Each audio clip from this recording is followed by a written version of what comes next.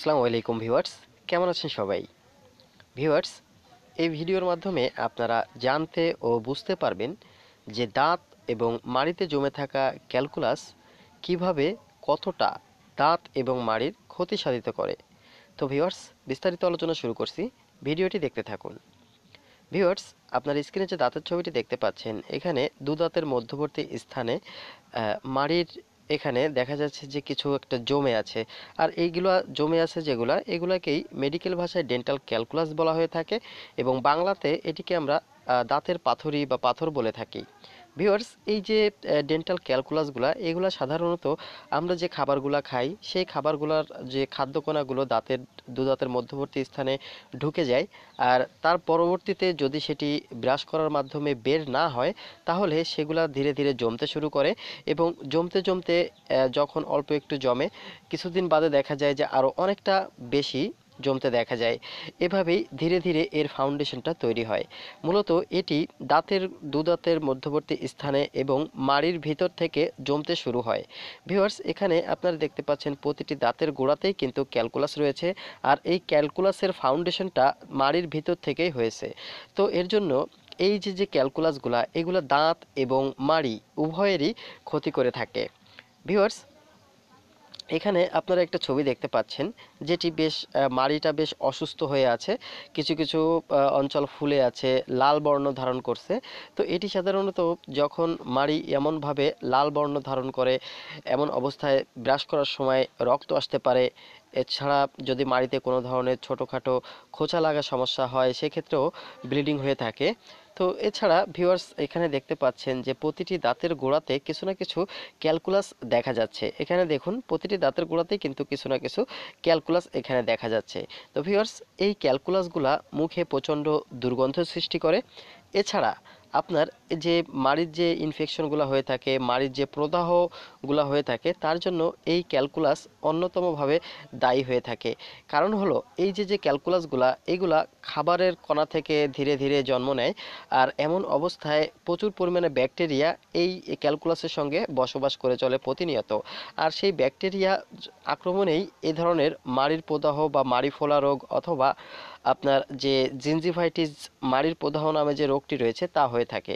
এছাড়া এই যে যে ডেন্টাল ক্যালকুলাসগুলো দেখছেন, এর ফলে উপরের দাঁতের ক্ষেত্রে যদি অনেক বেশি ক্যালকুলাস জমে, সেক্ষেত্রে উপরের দাঁতের মাড়ি উপরের দিকে উঠতে থাকে, দাঁতের গোড়া আলগা হয়ে যেতে থাকে। যদি নিচের দাঁতের ক্ষেত্রে এমনটি হয় যে নিচের দাঁতে যদি এ ধরনের ক্যালকুলাস জমতে থাকে ধীরে ধীরে, তাহলে নিচের দাঁতের মাড়ি নিচের দিকে নেমে যেতে থাকে, গোড়া আগলা হয়ে যেতে থাকে। যেমনটি আপনারা এইখানে দেখতে পাচ্ছেন ভিউয়ার্স, এখানে দেখুন প্রতিটি দাঁতের গোড়া থেকে মাড়ি কিন্তু উপরের দিকে উঠে গেছে উপরের মাড়ি এবং নিচের মাড়ির গোড়া নিচের মাড়িটা ধীরে ধীরে নিচের দিকে নেমে গেছে। তো ভিউয়ার্স এটিকে আমরা গাম রিসেশন বলে থাকি।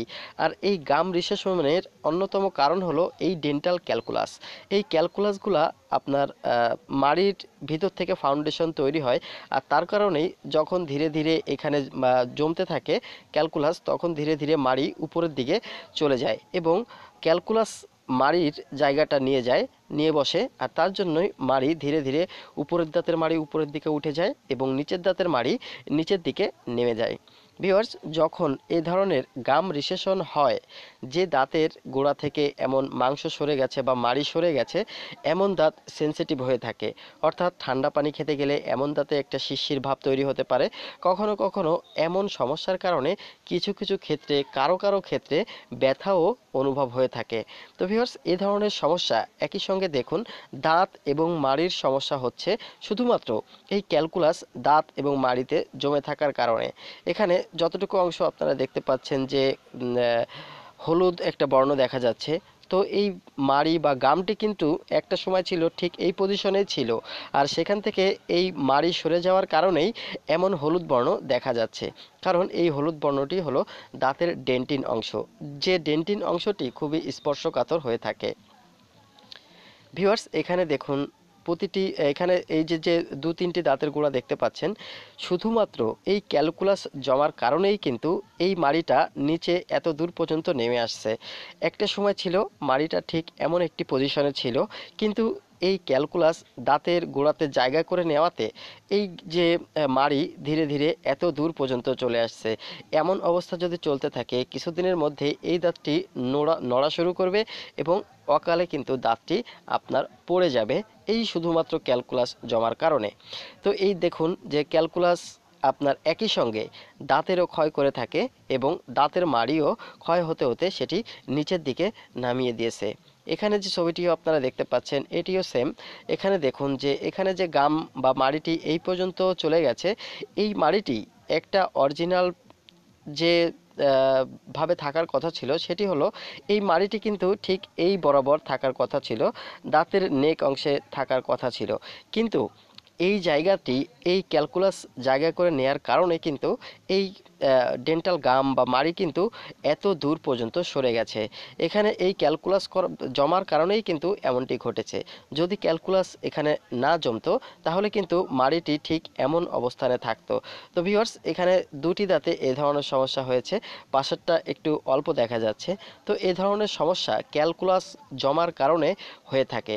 যদি এ ধরনের সমস্যা হয়, আর এই ক্যালকুলাসগুলা কিছু কিছু ক্ষেত্রে আপনা আপনি উঠে যায় দুই একটা দাঁতের ক্ষেত্রে। যখনই এ ধরনের ক্যালকুলাস আপনার এমন জায়গা থেকে উঠে যায়, তখন কিন্তু সে দাঁতটির ডেন্টির অংশ বেরিয়ে যায় এবং সে দাঁতটি শিশির অনুভব হয়ে থাকে। তো ভিউয়ার্স এ ধরনের সমস্যা এড়ানোর জন্য আপনাকে স্কেলিং করাতে হবে দাঁতগুলা দাঁতগুলা ওয়াশ করাতে হবে। যখন এ ধরনের অল্প থাকবে মেডিকেল সায়েন্স বলে ছ মাস অন্তর দাঁত স্কেলিং বা ওয়াশ করার জন্য, কিন্তু আপনি যদি ছ মাস অন্তর দাঁত স্কেলিং বা ওয়াশ না করিয়ে উঠতে পারেন, তাহলে বছরে অন্তত একবার, সারা বছরে অন্তত একবার আপনি যদি দাঁতগুলা স্কেলিং করিয়ে নেন, দাঁতগুলা ওয়াশ করিয়ে নেন এটা দেখতে পাচ্ছেন ওয়াশ করানোর পরের ছবি। তো এভাবে আপনি যদি বছরে একদিন ওয়াশ করিয়ে নেন, তাহলে অবস্থাটা এমন হওয়ার আশঙ্কা থাকবে না। আর এমন অবস্থা যখন থাকে, তখন একই সঙ্গে দাঁতের ক্ষয় হয়, মাড়ির ক্ষয় হয়, মাড়ি ফোলা রোগ হয়, একই সঙ্গে মুখে দুর্গন্ধ সৃষ্টি হয়। এছাড়া আরও অনেক প্রদাহ রয়েছে এই ডেন্টাল ক্যালকুলাসের যখন আপনি স্কেলিং করিয়ে নেবেন, তখন দাঁতগুলা কিন্তু দেখতে সেম এমন হয়ে যাবে এবং এই ক্যালকুলাস বা এগুলা উঠে যাওয়ার কারণে স্কেলিং করালে এগুলা পরিষ্কার হয়ে যাবে। যেমনটি আপনারা এই ছবিতে দেখতে পাচ্ছেন, এটি স্কেলিংয়ের পরের ছবি। তো স্কেলিং করালে যখন এগুলা উঠে যাবে, পরিষ্কার হয়ে যাবে, তখন আপনার মুখটি অনেক বেশি ফ্রেশ লাগবে। সেই সঙ্গে আপনার মাড়ির প্রদাহ হতে আপনি মুক্তি পাবেন, মুখে দুর্গন্ধ হওয়া থেকেও আপনি মুক্তি পাবেন। এছাড়া আপনার সব থেকে বড় কথা হলো যে ফ্রেশনেস, সেটি আপনার মুখে সব সময়ের জন্য বজায় থাকবে। তো ভিউয়ার্স, আশা করি বুঝতে পেরেছেন যে এই ডেন্টাল ক্যালকুলাস দাঁত এবং মাড়ির কতটা ক্ষতি করে থাকে। তো ভিউয়ার্স ভিডিওর আলোচনা এই পর্যন্তই।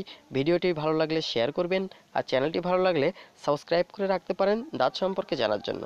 সবাই ভালো থাকবেন। সালামু আলাইকুম।